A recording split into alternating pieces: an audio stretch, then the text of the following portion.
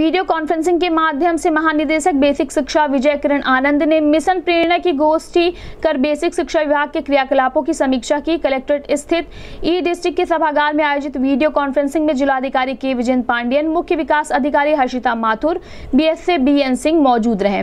Video conferencing में basic शिक्षा विभाग के छात्रों को ऑनलाइन शिक्षा देने को लेकर चर्चा की गई। गोष्ठी में बताया गया कि सभी शिक्षकों को दीक्षा ऐप रजिस्टर कराना होगा।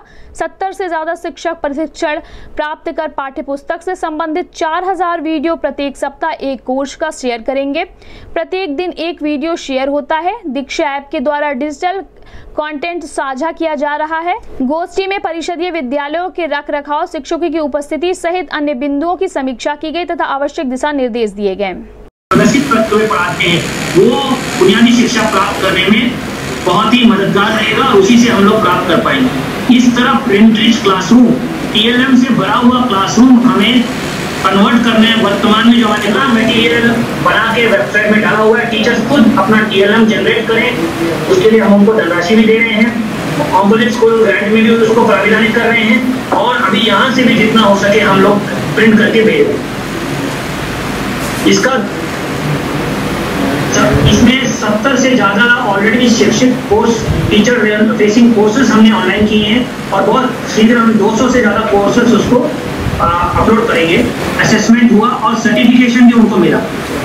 तो सारा टीचर ट्रेनिंग हम लोग पाँच सितंबर से ऑनलाइन मोड पे ही करेंगे। In service training will be only online mode sir जहाँ टीचर्स खुद अपना कोर्सेस ले पाएँगे, वहाँ असेसमेंट भी होगा, उनको ऑनलाइन सर्टिफिकेट भी वहीं मिल जाएगा। बहुत ही अच्छा कंटेंट बहुत ही खूबसूरत कंटेंट बहुत अच्छे अच्छे संस्थाओं के साथ जोड़ के। जैसे टीचर एजुकेशन ऐप है खान अकेडमी है प्रथम है टेक्टर लर्निंग इनका स्टूडेंट फेसिंग वीडियोस भी और टीचर फेसिंग वीडियोस भी।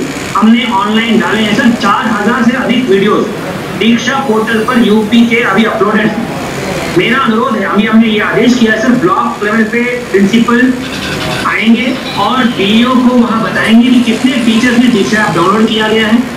कितने टीचर्स ने दीक्षा के कोर्सेज लिए गए हैं और दीक्षा का नियमित प्रयोग भी किया जाए। कल अगर कोई चैप्टर पढ़ाया जा रहा है तो आज उस चैप्टर के बारे में वीडियो देखा जाए। उसका क्यू आर कोड जो हर टेक्स्ट बुक में, हर चैप्टर में है, उसको स्कैन करके देखा जाए और निगम स्तर भी बढ़ेगा इसमें कुछ भ्रांतियाँ हैं सर मैं आपसे माध्यम से सारे टीचर से अनुरोध करना चाहूँगा।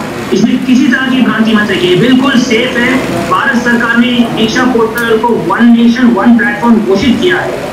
बहुत ही सिक्योर है। किसी तरह की इसमें कोई प्राइवेसी कंसर्न नहीं है।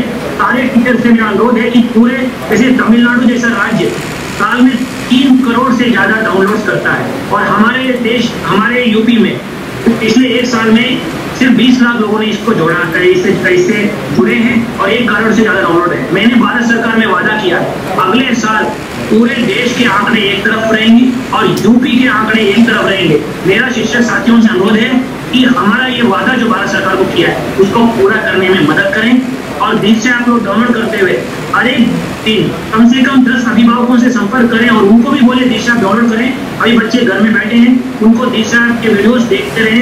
अभी हम लोग टेक्स्ट बुक भी घरों तक पहुँचा रहे हैं। तो अभिभावकों की छोटे छोटे समूह बना के, स्कूल में बुला के उनको डिस्ट्रीब्यूट कर रहे हैं जो उन तक सारे टेक्स्ट बुक भी अभिभावकों तक, बच्चे तक पहुँच जाएँगे। उसके क्यू आर कोड स्कैन करेंगे। जितने भी लोगों के पास स्मार्टफोन्स नहीं होंगे। उनका अधिक असर इस कोविड महामारी के दौरान प्रतिकूल प्रभाव नहीं पड़ेगा। तो दीक्षा पोर्टल को हमारा एक मुख्य हथियार बनाते हुए टीचर्स को, चाहे अपनी क्षमता वृद्धि करने के लिए हो, या बच्चों तक पहुँचाने के लिए करने का कष्ट अभी तक जारी हो जाएगा सर इसमें कौन से